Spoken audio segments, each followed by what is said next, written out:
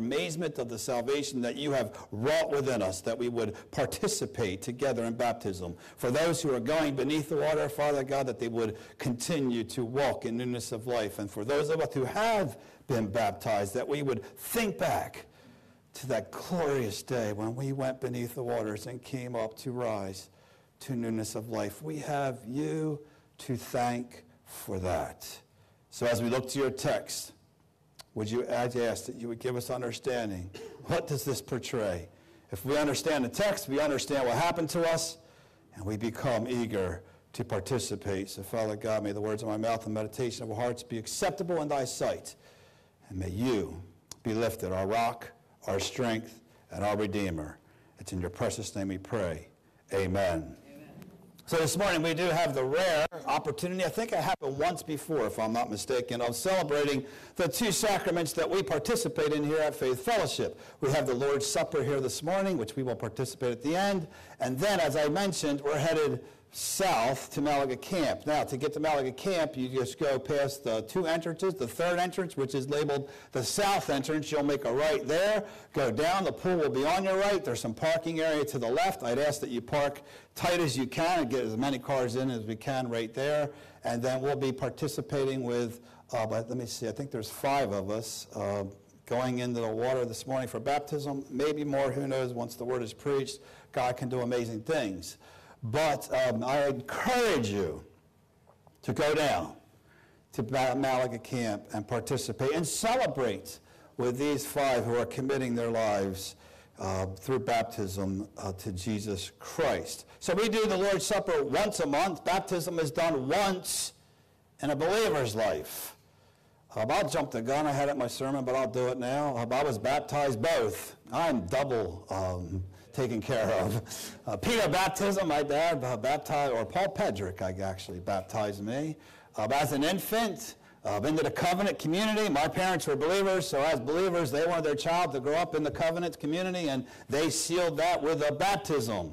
And as I come to age, uh, I received Jesus Christ. Faith happened, and when faith happens, by New Testament, I guess I can say of baptism happens, but I didn't. I stood on my pedo baptism, my infant baptism for many years. I have their certificates. I've been baptized, and a lot of Baptist churches that I went into, um, I couldn't convince them of that.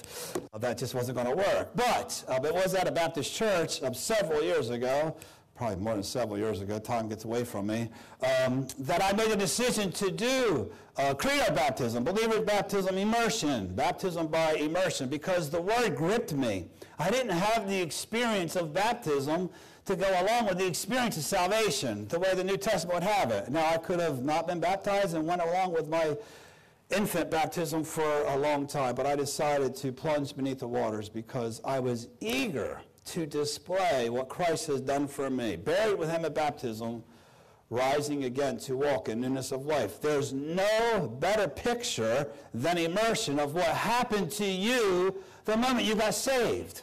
We were looking at 1 Peter, and Peter is that doxology of 12 verses of the glorious of your salvation. How glorious, how wonderful. We're always looking to that salvation when things go wrong.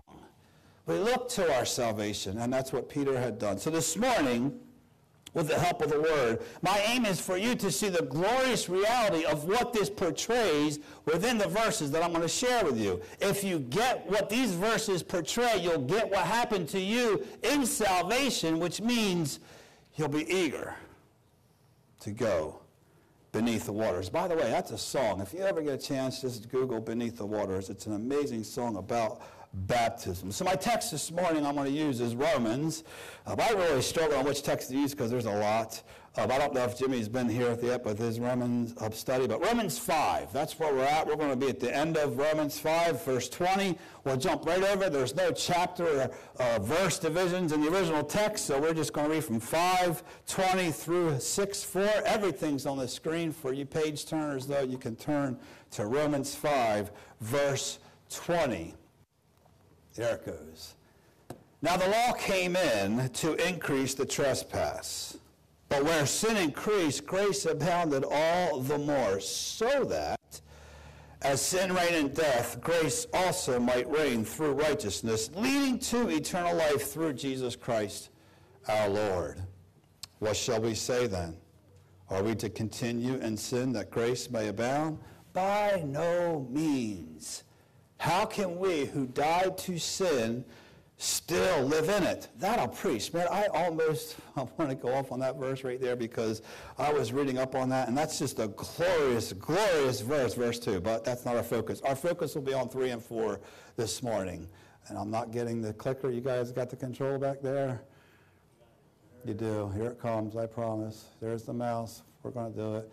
Do you not, hmm, is that 3 and 4? Yes. Do you not know?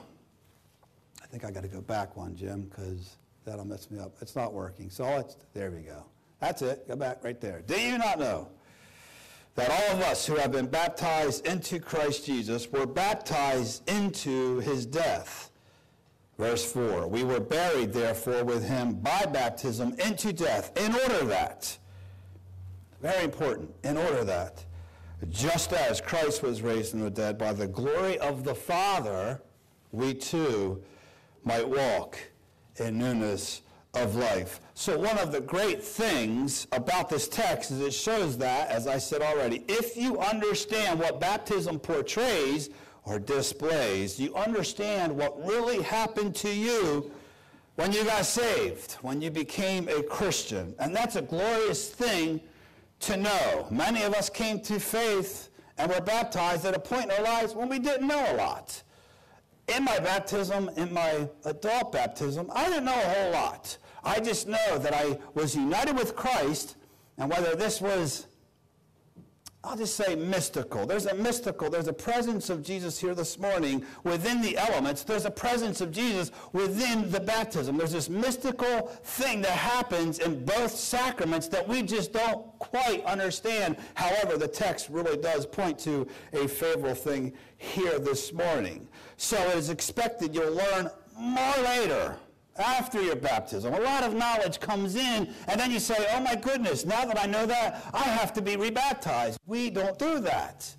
It's placed in the front, in the beginning of your Christian walk, so that as we gain more knowledge, we get to look back at the glories of our baptism and how just a mustard seed of faith is all it takes for us to receive Christ as Lord and Savior and enter the waters of baptism. So I'm just going to deal with two things before we go to the table this morning that baptism portrays in this text, according to just verses 3 and 4.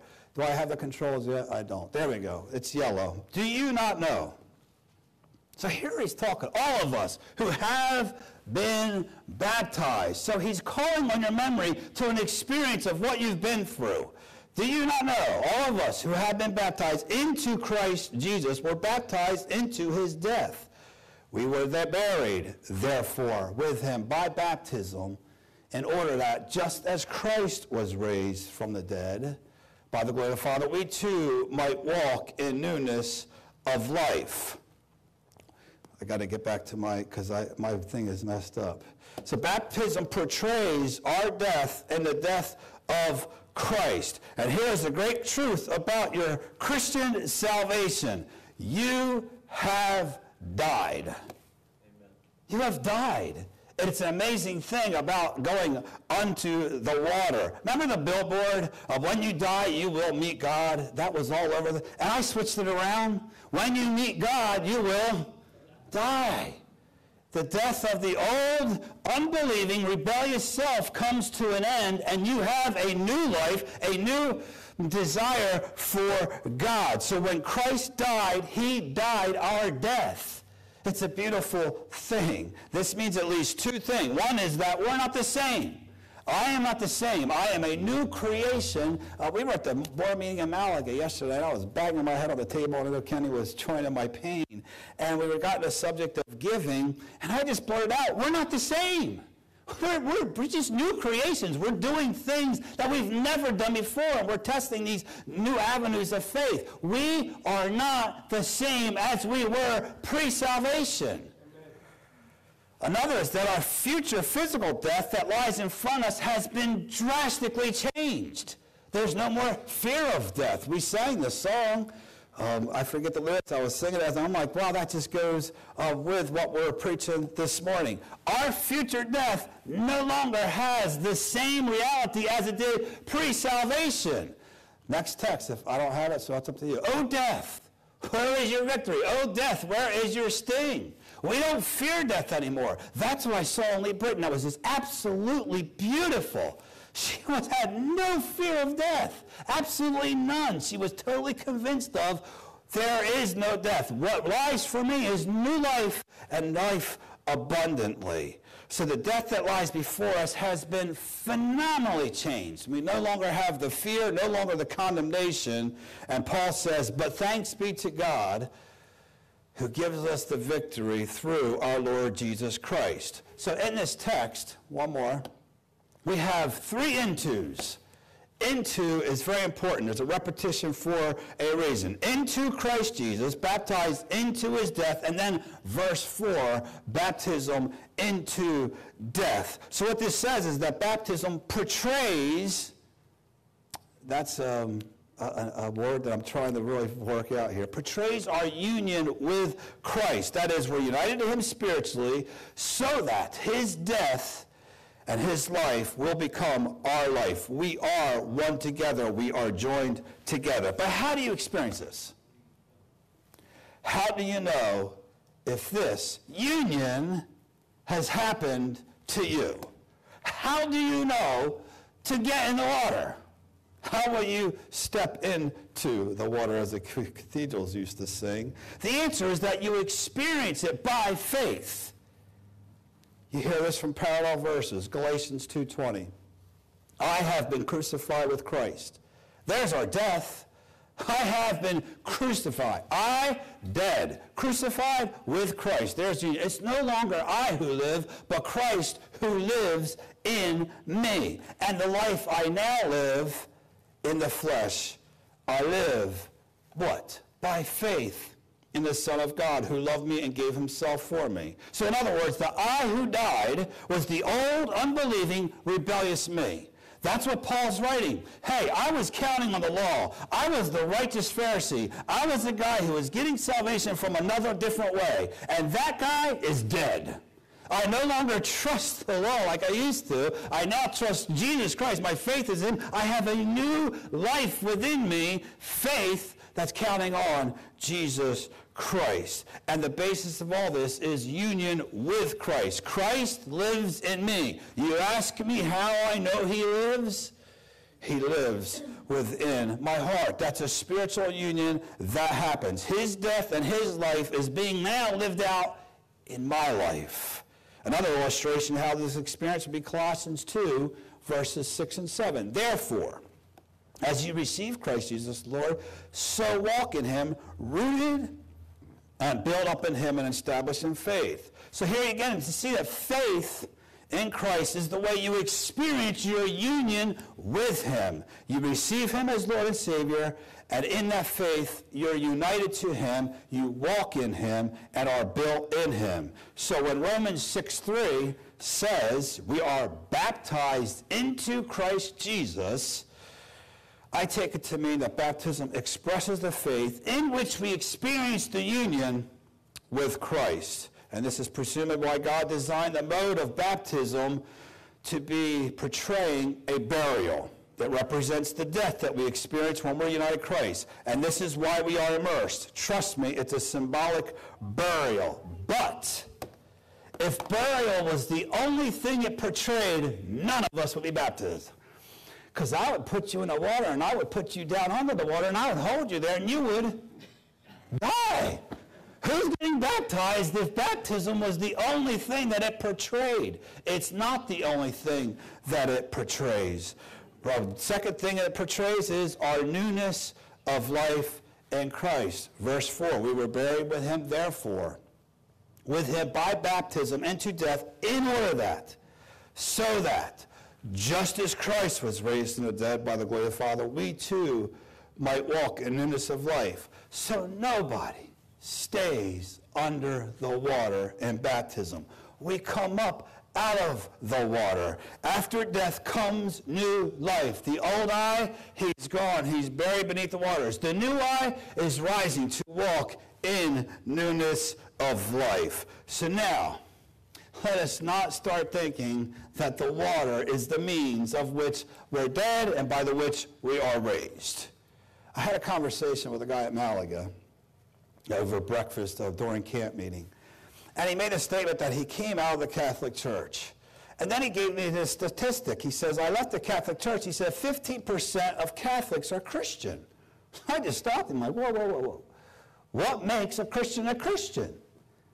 Very eagerly. John 1.12. John 1.12, all who believe, all who receive, he made children of God. So I'm saying, okay, that's great. But if you talk to most Catholics, they'll call themselves Christians. They really will. They'll say, well, what's the difference? We all believe. What is the difference? And he said this if you ask a priest how many of his congregation are Christians, he'll say, all of them. And the reason? Water. Water. Baptism causes, effects, brings about regeneration, new birth. And that's guy, this guy was totally convinced that that was not true. He could no longer sit in the Catholic Church because the water is not the means by which regeneration happens. It happens through faith, and Paul hammers that out for the first five or six chapters of Romans, and hence after that, here he deals with baptism just to get an understanding of what happened to you when you got saved, so that when you go under the water, you understand what it's portraying the best uh, verse or commentary on how the truth that the water is not the means is Colossians 2:12. We have been buried with him in baptism, in which you were also raised with him, and here it is, through faith in the powerful working of God. So just like Peter starts out his first doxology, giving all God the praise for our salvation, Blessed be God of our Lord and Savior Jesus Christ. He, by his great mercy, has caused us to be born again. John in chapter 112 says, all who believe, all who receive him. So we understand that salvation is effected by God causing us or causing faith. Now, what keeps me a credo baptism or believing, well, can I just call myself a Baptist here? Can I just say we're a Baptist for, uh, just for the time being, just for the sake of argument, is this verse. It's through faith. And I didn't even understand this when I got baptized, but I knew that something something mystical, as I want to say. I don't know how else to put it in words, but I just knew I needed to experience baptism. I just had to because I knew that I was a child of God. I knew He had done a great work in my life. I could understand how the old unbelieving self was just no more, how this new guy was coming out and just somehow walking through faith. Faith was evident, and I certainly wasn't perfect. I'm still not perfect. And for those of you who are waiting to be perfect, to be baptized, forget about it. You're just as messed up as I am. And I love that. We grow. We walk in newness of life. We get to test, we get to work out our faith, work out our own salvation with fear and trembling. That starts with baptism. There's a plethora of books that I read that I love the writers. And these guys are absolutely 100% that the water does the work. The priest goes in the water or holds the water over the head and just sprinkles you. I'm not convinced on the boat. You don't have to be immersed. If you can't stand water, I'll pour water over your head. If you really can't stand water, I'll sprinkle you. But to do it in front of people, to understand that the water represents your death and your one word I use heard that I don't like to use is it's mediated. There's a mediation that happens in baptism. There's a certain mediation that happens, a mystical means of grace. The same with baptism. I got to be honest, my life has not been the same since the whole complete package salvation, the Spirit of God sealing me, and then baptism. That's how the New Testament church conceived it. If you ask Paul, well, what about the Christians that aren't baptized? Now, it doesn't deal with that, but he'd probably say, why not? Why aren't they? So we are raised up with Christ, just like Romans 6 4 says. We walk in newness of life. But here in Colossians, Paul says that this comes through faith in the powerful working of God who raised him to dead. Now, our verse this morning doesn't say that. Romans 6 4 does not say it's through faith, but there is a word there. Next slide. We were buried, therefore, with him by baptism into death, in order that, watch this, so that, just as Christ was raised from the dead, by what? Now, the power of God is not there, but what word is there? By the glory of the Father. And if you put these two things together, next slide. One more, by the glory of the Father. Put these two words together. Next one. One more. Through the glorious, powerful working of God. It's not the water. It's not me who calls on special kind of uh, power that makes the water something that it's not. It's not me, the pastor. It's God who effects the salvation. So Colossians 2.12 makes explicit what Romans 6.4 makes implicit, that baptism expresses our faith in the working of God to raise us from the dead. We believe that Christ is alive from the grave and reigning today as we sang at the right hand in heaven, which he will come again. Praise God. Maranatha, right? In the power and glory. And that faith in God's working of glory, Paul calls it, is how we share in this newness of life that Christ has in himself. So, this is what it means to be a Christian to live in the reality of what your baptism portrays. Do you have the slightest bit of faith, the mustard seed of faith this morning, that you say, Oh God, I, I just come to you, I'm at the end. I really have nothing else but you. I, I totally trust in you as my Lord and Savior. Then the old person's died. You, you, you have an experience of death and then you say, but I intend. I just want to walk in. I want to I want to trust you more. I want to do some amazing things that I never thought I could do in my life. And I just really am counting on you to provide for that newness of life that I'm going to walk in. Well, that's faith. And you have both experiences. And now to initiate or seal, well, use baptism. Baptism is the portrayal of what happened to you at the moment of salvation. So, just in a few moments, first we'll take the communion. Second, those of you who are going to be baptized, meet in the prayer room. We're going to do a quick little uh, 10 minute at the most um, class on what really happens to you baptized. For those of you who haven't been baptized, like, you know what? Today's the day.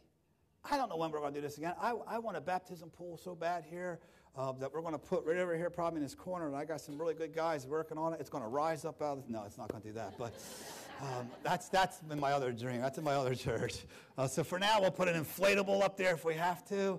Um, and we can just make it all part of the same service. And we can do it like instantly. Like, okay, Pastor, I want to be baptized. Great. Come back next week. The water will be ready. Uh, that's coming. That day's coming. Um, I don't know how many people I've baptized in this church, but what a pleasure it is. I know I'm probably, hopefully, approaching above 50 um, that I've been able to baptize in five years. That is just amazing work of God, and I've got God to thank for that.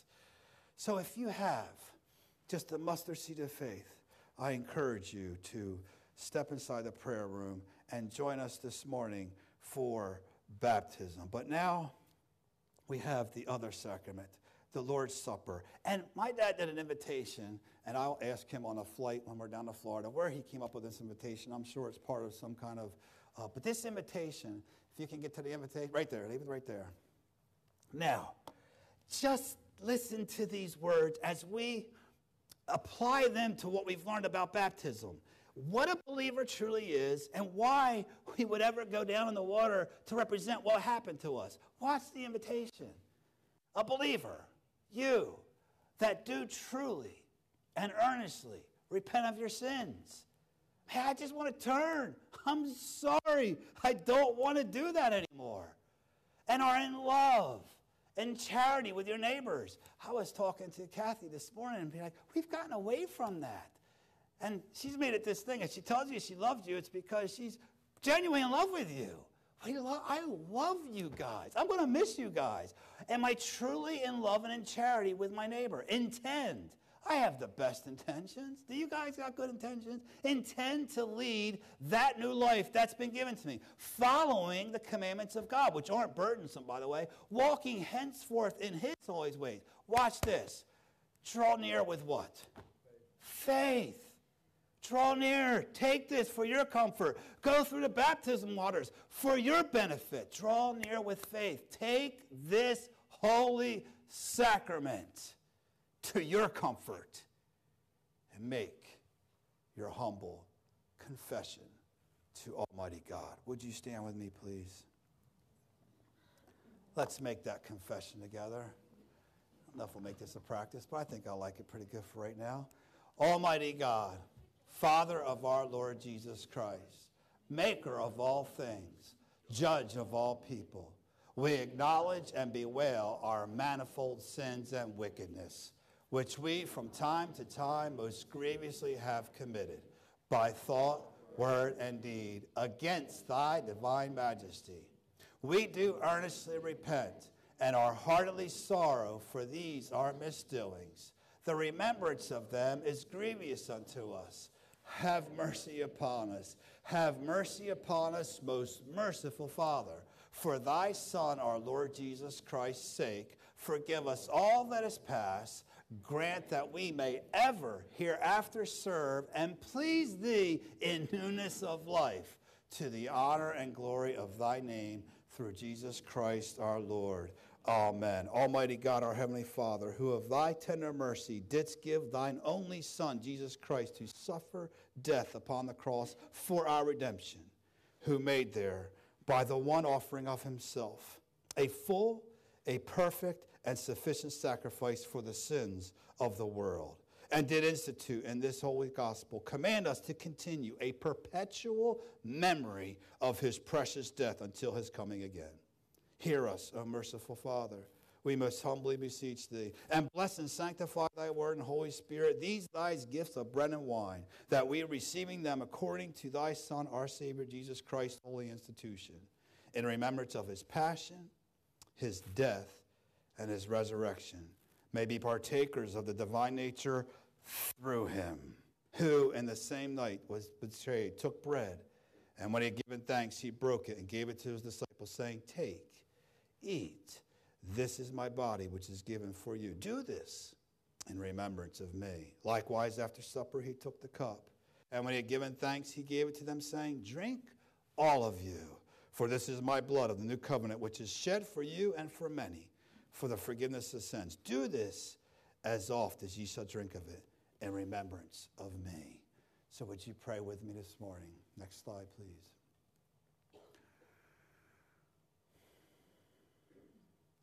We do not presume to come to this thy table, O merciful Lord, trusting in our own righteousness, but in thy manifold and great mercies. We are not worthy so much as to gather up the crumbs under thy table. But thou art the same, Lord, whose property is always to have mercy. Grant us, therefore, gracious Lord, so to partake in this sacrament of thy Son, Jesus Christ, that we may walk in newness of life, may grow into his likeness, and may evermore dwell in him and he in us. You may be seated. Could I have the ushers, please?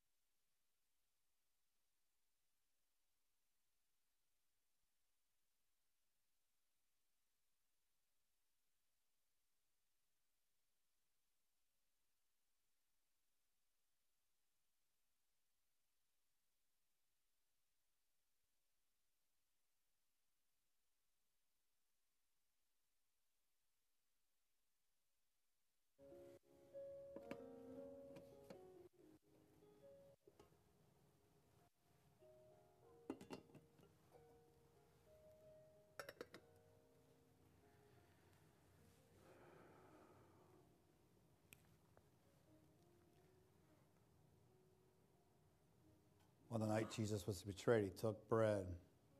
And when he broke it, he held it up and blessed it. And he gave it to his disciples and said, Take, eat. This is my body, which is given for you. Do this in remembrance of me.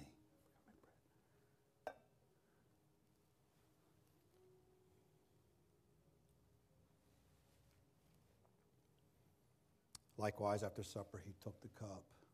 And when he held it up and blessed it, he said, This cup is the new covenant in my blood, which was shed for you and for many for the remission of sins. Drink ye all of it in remembrance of me.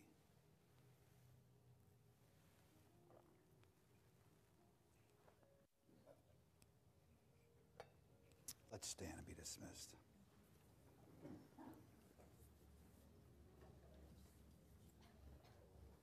Our Heavenly Father, I just, I'm in awe of what you have done. I thank you for everyone in front of me, Father God, for those who couldn't be here this morning, who are watching. Father God, we just ask a special blessing for those who weren't able to partake in this community of yours. Father God, I just ask that you would uh, just bless this church as I'm gone for two weeks, Father God, that just draw us closer, knit us together, Father God, make us like minded, one minded. Father, as we move now from here to this place of worship to the pool, Lord, I just ask that your presence would go with us and go before us. And Father God, that you would just do a far more abundant than I could ever ask for. So, Lord, thank you once again for ministering to us. We're not worthy, but you make us worthy. And we give you all the honor and glory and praise for that. And all God's children said, Amen. Malaga Pool.